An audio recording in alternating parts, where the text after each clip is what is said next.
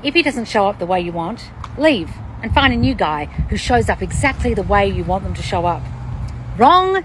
Guys, have you heard advice like this from dating coaches?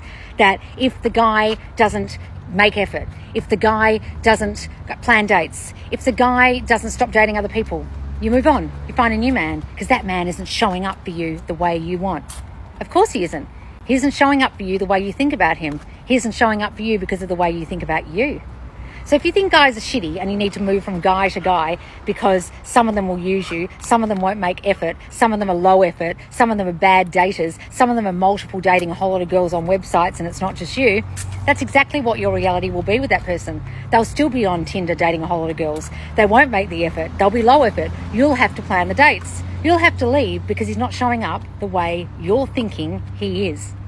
Everyone in your reality is simply a reflection of your dominant thinking about yourself, your concept of yourself, your self concept. And if you've heard videos on here about self concept, a lot of you aren't even being taught it correctly.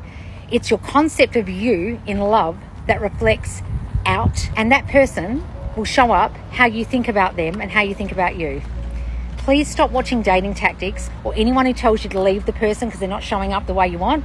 They're not showing up that way because you think of them that way, because you think of you a certain way. You think you're going to get rejected? You will. You think that they're going to want other girls? They'll be dating multiple girls.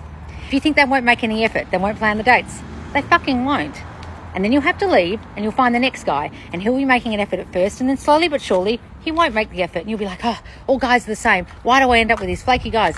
You end up with those flaky guys because of your dominant assumption that you don't get catered to, that guys don't show up for you, they don't care enough, they don't make enough effort, that you're not chosen by them, that you have to people please and you have to do and you have to cater to them. That's your thinking and they're reflecting it. Have you ever had a person turn up great at first and then they change? They're changing because of your thinking. Okay?